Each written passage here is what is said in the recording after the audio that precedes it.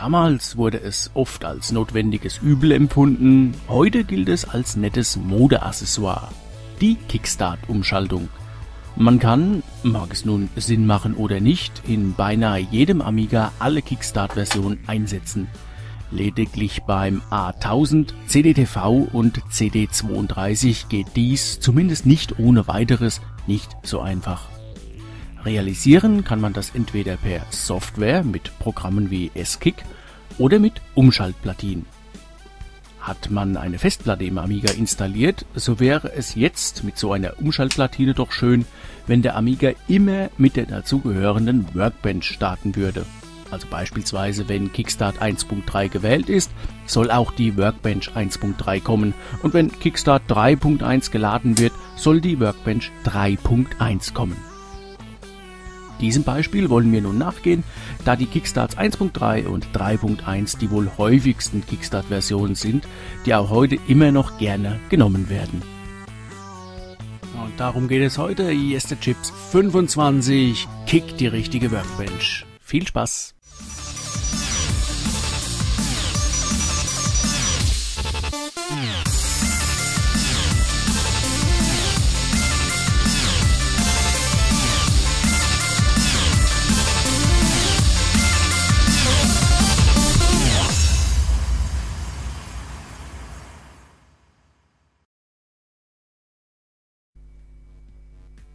Um das Ganze erstmal komfortabel und einfach zu simulieren, verwende ich für den Versuchsaufbau die Amiga-Emulationssoftware WinUAE für Windows. Wer mit dieser Software noch überhaupt nicht gearbeitet hat, sollte sich vielleicht erst einmal die Folge 1 der Yesterchips anschauen. Entgegen der üblichen Vorgehensweise schauen wir uns nun erst einmal das Endergebnis an und bröseln dann Schritt für Schritt auf, wie wir dahin kommen. Wir wählen also Kickstart 1.3 und starten die Emulation und siehe da, ganz unspektakulär, die Workbench 1.3 wird geladen.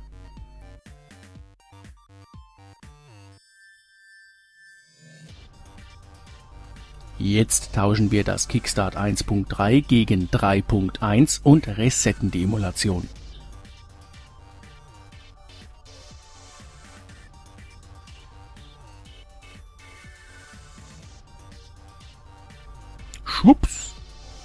Workbench 3.1 in voller Pracht. So soll es sein, so sieht unser Ziel aus. Na, also gucken wir jetzt mal, wie wir das hinkriegen.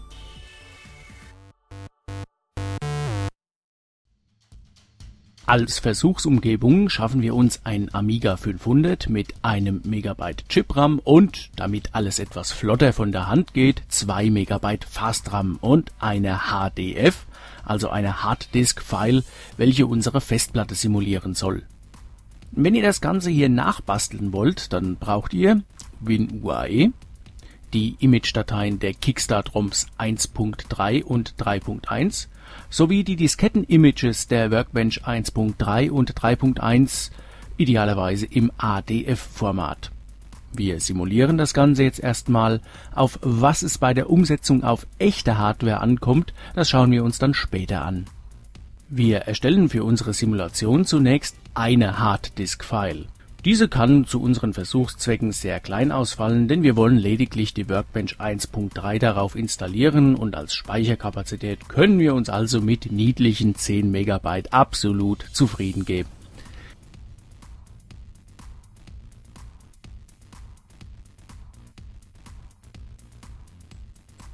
Ins virtuelle Laufwerk DF0 legen wir jetzt das ADF der Workbench 1.3 ein und starten unsere Emulation.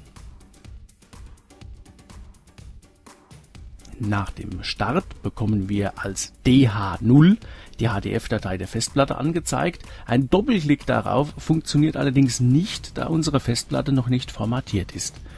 Dies machen wir mit einem Rechtsklick, Disk und Initialize. Spätestens jetzt merkt ihr, dass es durchaus Sinn macht, die Partition für die Workbench 1.3 so klein zu wählen. Denn hier in der grafischen Benutzeroberfläche der Workbench 1.3 gibt es kein Quick-Format. Wer da etwas Größeres am Start hat als 10 Megabyte und das entsprechend schneller formatieren möchte, die Quick-Format-Funktion gibt es durchaus. Dazu muss man in die Shell gehen und den Befehl eingeben Format Drive DH0 Name in unserem Fall Workbench 1.3 und anschließend Quick. Aber das erstmal nur so nebenbei. Wir machen das Initialisieren, also das Formatieren hier jetzt mit der GUI. Anschließend hat unsere Festplatte nun den recht leeren Namen Empty. Das ändern wir mal in Workbench 1.3, damit wir später den ganzen Kram auseinanderhalten können.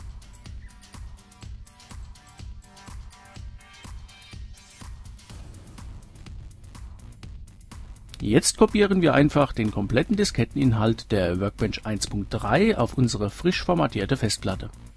Das geht mittels der Shell und dem Befehl copy df0 all dh0 wir wollen also alles inklusive aller Verzeichnisse und Unterverzeichnisse von der Diskette DF0 auf die Festplatte DH0 kopieren. Die Funktion Alles anzeigen, welche innerhalb eines Workbench-Fensters wirklich alle Dateien und Verzeichnisse, also auch die ohne Icon-Piktogramm-Datei anzeigen lassen kann, gibt es leider erst ab der Version 2. Daher müssen wir das Kopieren unter Version 1 auf diesem Wege von Hand durchführen.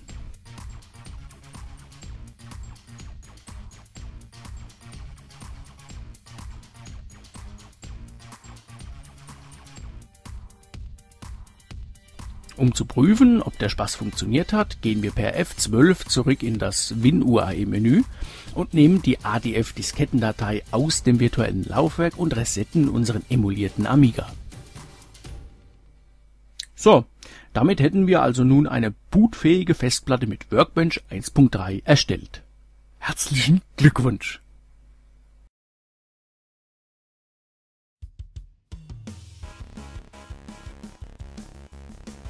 F12 wieder raus ins WinUAE Menü.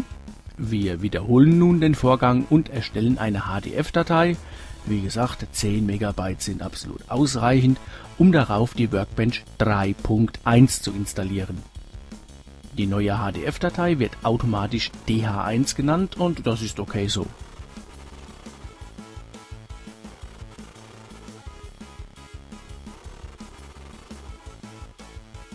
Vorübergehend nehmen wir die als DH0 bezeichnete HDF-Datei, die mit unserer Workbench 1.3 darauf, wieder heraus aus der Emulation.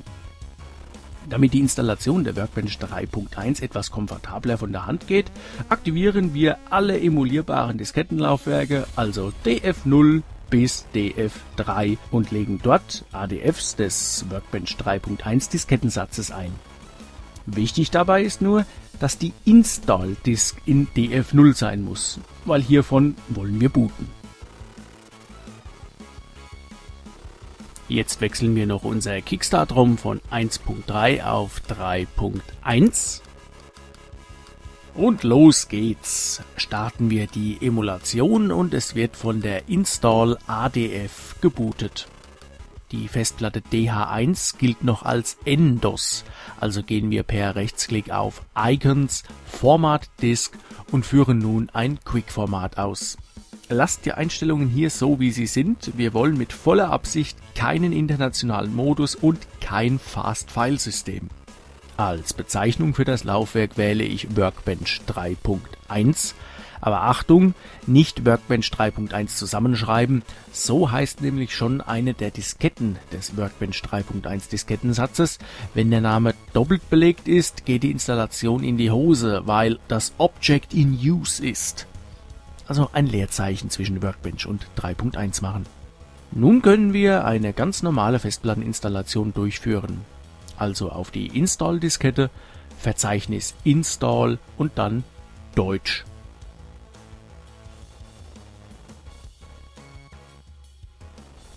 Die Installationsroutine ist selbsterklärend.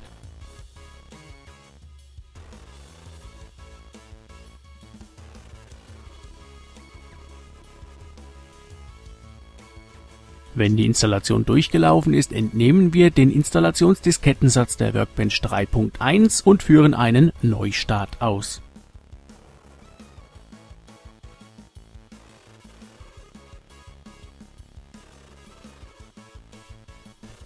Jawohl, alles gut.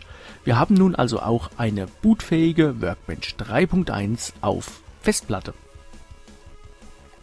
Naja, und jetzt müssen wir die beiden ja nur noch irgendwie zusammenkriegen. Dazu müssen wir die Antwort auf die Frage kennen, ab wann und wie wir die Version des Kickstart-ROMs auslesen können und wie wir den Amiga dazu bringen, danach zu entscheiden, welche Workbench er nutzen soll.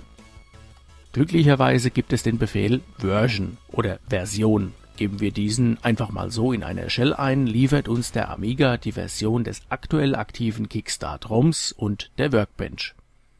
Hier unter 3.1 ist es die Version 40.63. Die Workbench-Version interessiert uns nicht. Also brauchen wir eine spezifischere Abfrage und erweitern unsere Abfrage auf Version exec library. Die Exec-Bibliothek ist zentraler Bestandteil des Kickstarts und über ihre Version können wir Rückschlüsse auf das eingesetzte Kickstart ziehen. Unsere Exec Library unter Kick 3.1 hat die Version 40.1. So, also wir haben damit unsere abzufragende Variable gefunden. Jetzt bleibt noch die Frage, wo wir diese Abfrage positionieren. Dazu muss man wissen, dass der Amiga nach dem Einschalten auf seinem ersten Bootlaufwerk nach dem Ordner S und darin nach der Datei Startup Sequence sucht. Ja, ja, kreuzigt mich nicht. Bei den vielen Spielen und einigen Programmen mit eigenem Bootsektor ist dies nicht der Fall. Das sind die Disketten, auf welche man unter der Workbench auch in aller Regel keinen Zugriff erhält. Aber diese Ausnahmen sollen für unseren Fall hier jetzt erstmal keine Rolle spielen. Die Datei Startup Sequence ist, für die PC-Kenner unter euch, in etwa gleichzusetzen mit der AutoExec BAT unter MS-DOS. Es ist also eine Stapelverarbeitungsdatei, die beim Hochfahren des Amiga ausgeführt wird und in der Befehle stehen, welche man auch aus einer Shell heraus ausführen kann.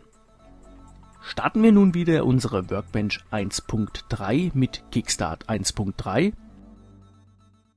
DH1 mit der Workbench 3.1 schmeißen wir mal raus aus der Emulation und nehmen dafür wieder unser DH0 mit der Workbench 1.3 hinein.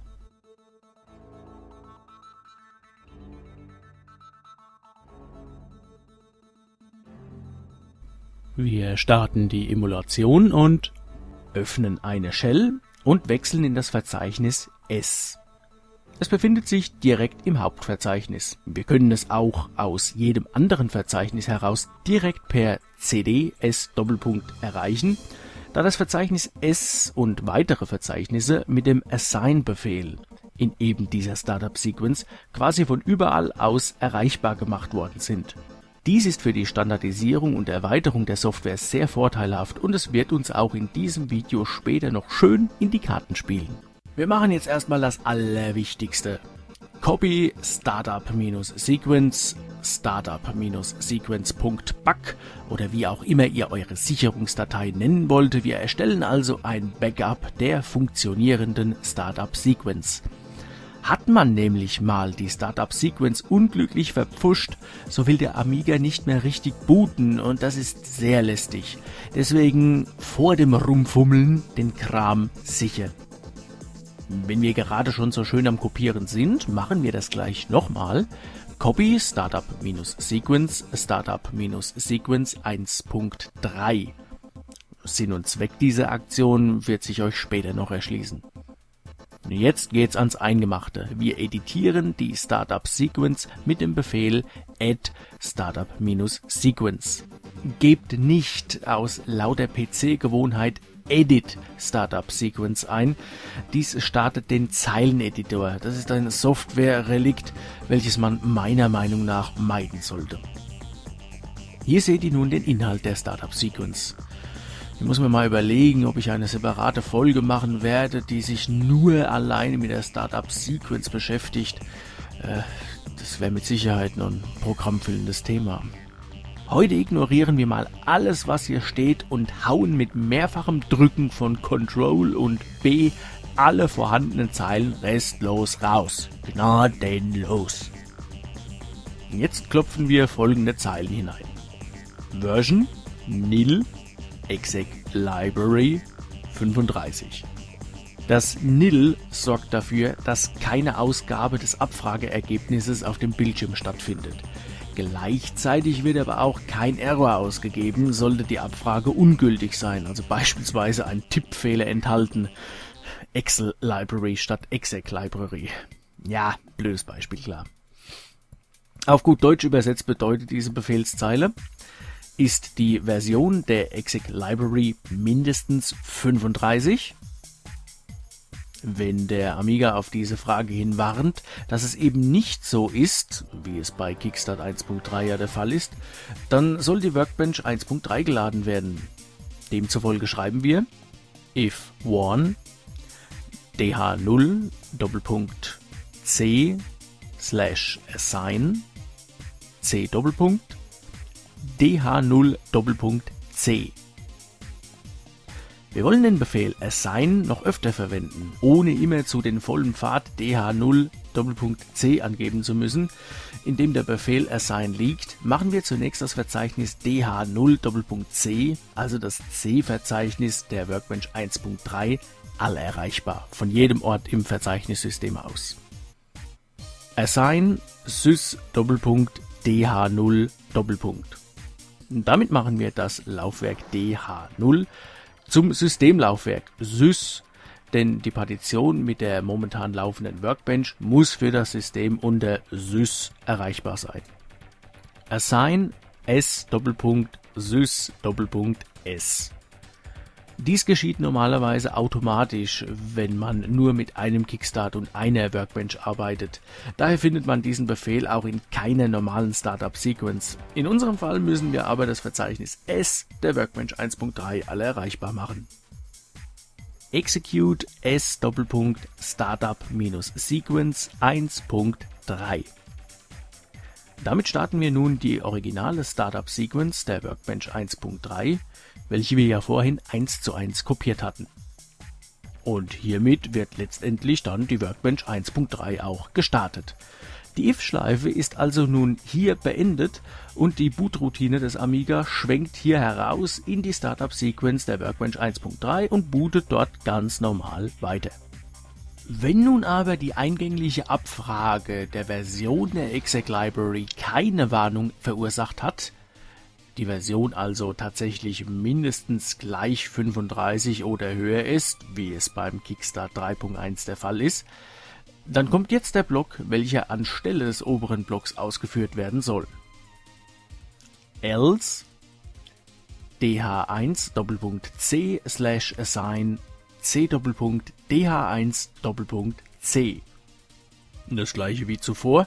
Wir wollen den Assign-Befehl noch öfters verwenden und verweisen daher nun direkt auf das C-Verzeichnis der Workbench 3.1, welche ja auf dh1 liegt. Assign sys Doppelpunkt dh1 Doppelpunkt. Das ist soweit jetzt auch logisch, denn dh1 soll nun unser sys-Verzeichnis sein assign s Doppelpunkt sys Doppelpunkt s assign lips Doppelpunkt sys Punkt lips assign devs Doppelpunkt sys Doppelpunkt devs hier greift nun der Assign-Befehl. DH1 haben wir zuvor mit sys definiert, so dass wir bei unseren folgenden Assign-Befehlen einfach nur noch sys eingeben müssen. libs und devs sind Systemverzeichnisse der Workbench 3.1, welche ebenfalls alle erreichbar sein müssen. Execute s Startup-Sequence. Dank des Assign-Befehls versteckt sich hinter s der Pfad dh1-s also das S-Verzeichnis der Workbench 3.1 und genau diese Startup-Sequence wird nun ausgeführt. Mit endif schließen wir ordnungsgemäß unseren if-Block ab. Wir speichern nun unsere neue selbstgeschriebene Startup-Sequence mit Tastendruck auf Escape und X.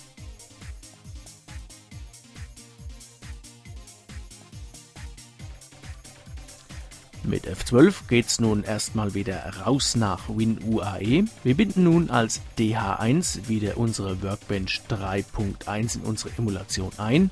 Wohlgemerkt nicht bootbar.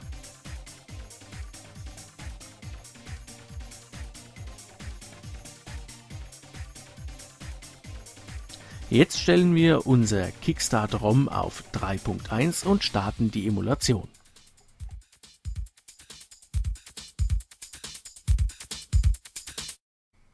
Sieht zwar noch etwas ungewohnt aus, aber wir haben nun definitiv unter Kick 3.1 die Workbench 3.1 geladen.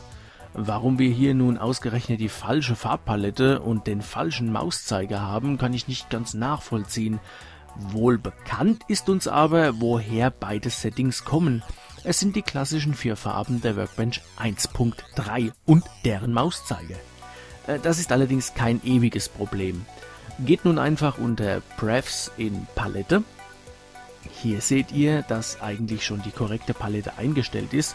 Daher müssen wir einfach nur noch mal auf Speichern klicken und schon passen die Farben von nun an und bis in alle Ewigkeit. Gleiches machen wir mit dem Pointer. Prinzipiell ist er schon korrekt, will halt nur nochmal gespeichert werden. Wenn ihr mir das nicht glaubt, dann macht jetzt einen Reset.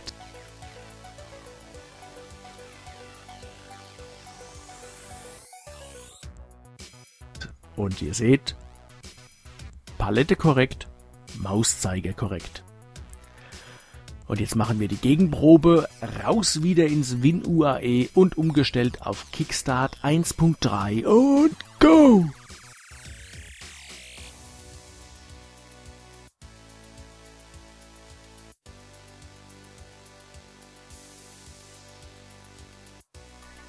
Tada! Workbench 1.3. Es funktioniert.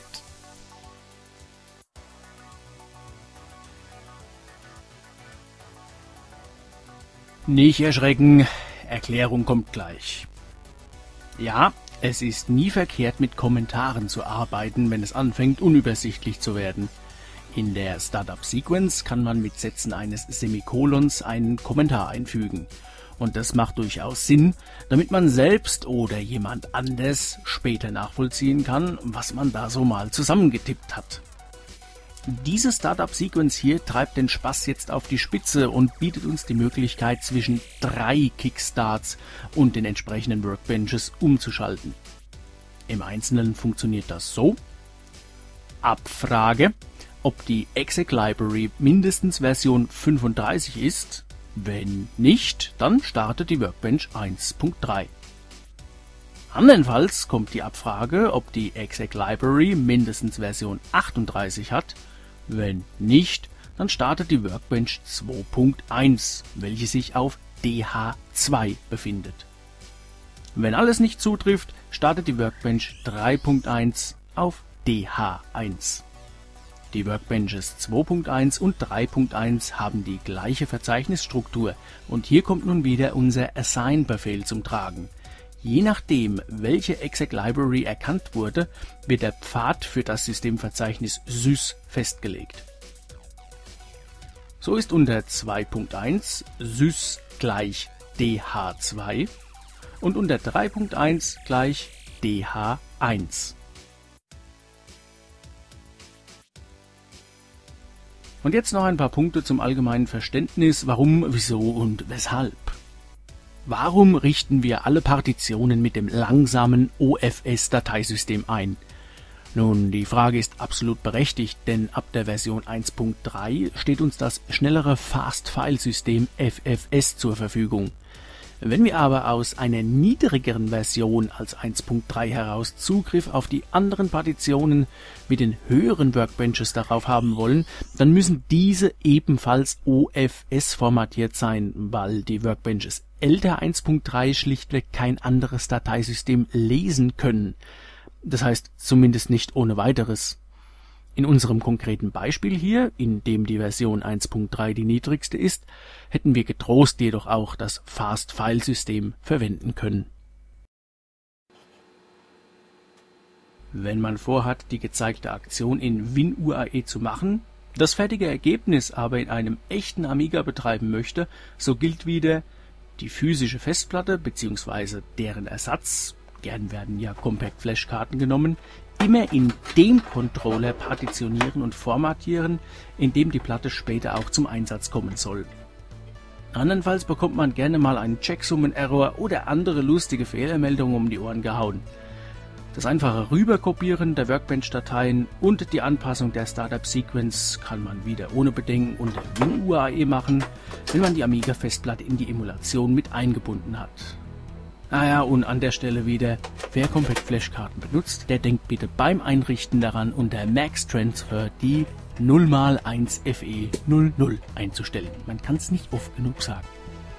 Natürlich kann man die gesamte Einrichtung auch in einem echten Amiga mit einer echten Kickstart-Umschaltung und einer echten Festplatte machen. Wenn man diese Aktion allerdings zum ersten Mal in Angriff nimmt, ist es vielleicht besser, das Ganze erstmal in der relativ sicheren Umgebung von WinUAE zu simulieren. Nachher eins noch zu Kickstart umschalten, weil es immer mal wieder gefragt und allen Ernstes auch mal falsch gemacht wird – Niemals das Kickstart im laufenden Betrieb umschalten. Immer erst den Amiga abschalten, am besten noch ein paar Sekunden warten, dann umschalten und danach erst wieder einschalten. Einen Live-Betriebssystemwechsel gibt es leider auch beim Amiga nicht. Zum Schluss wieder die zugegebenermaßen ekelhafte Frage nach der Sinnhaftigkeit. Und diesmal stehe ich der vorgestellten Aktion tatsächlich ziemlich skeptisch gegenüber. Denn nach meiner Auffassung ist das Kickstart 3.1 absolut ausreichend für nahezu alle Belange, die man an einem Amiga haben kann. Kickstart 2 ist ohnehin ungeliebt wegen diverser Unverträglichkeiten und Kickstart 1.3, naja, es ist zwar Amiga Retro-Feeling pur, aber rein wegen der Funktionalität finde ich, dass es nicht mehr sein muss, sich damit herumzuschlagen. Und dazu kommt noch, dass man mit einer Kickstart-Umschaltung sich einen potenziellen Wackelkontaktkandidaten in den Amiga einbaut. Am Ende muss das Ganze natürlich wieder jeder für sich selbst entscheiden, ob er so etwas nun haben möchte oder nicht. Möglich ist es allemal. Natürlich ist der von mir gezeigte Weg nur eine der vielen Möglichkeiten, diese Aktion zu realisieren. Man muss nicht zwingend für die Workbenches unterschiedliche Partitionen verwenden. Unterschiedliche Verzeichnisse würden beispielsweise auch schon reichen, aber das ist alles Geschmackssache. Und um jetzt noch ein bisschen Schleichwerbung zu machen, von der ich zwar rein finanziell überhaupt nichts habe, mit der Turbokarte von Individual Computers ACA 500 habt ihr eine Turbokarte, welche bereits die Kickstarts 1.3 und 3.1 dabei hat und welche man aus dem schicken Startmenü einfach per Tastendruck auswählen kann. Ihr braucht also keinen Wackelkontaktkandidaten in euren A500 einbauen. Das war die softwarelastige Folge 25 der Yes der Chips. Die nächste Folge wird sich wieder etwas mehr mit Hardware beschäftigen. Und wenn ihr das hier nachbauen wollt, verzweifelt nicht, wenn bestimmte Passagen bei euch deutlich länger dauern als hier im gezeigten Video. Ja, ganz recht, ich habe an sehr vielen Stellen mit Zeitraffer gearbeitet. Die emulierten Diskettenlaufwerke, selbst wenn man sie auf Turbo stellt, sind wirklich fürchterlich langsam. Nichtsdestotrotz hoffe ich, dass euch auch diese Folge wieder zugesagt hat. Denkt dran, ein Backup zu erstellen, bevor ihr in der Startup Sequence herumschreibt. Und dann bleibt mir nur noch zu sagen, Adele ciao und bye bye, euer Mick.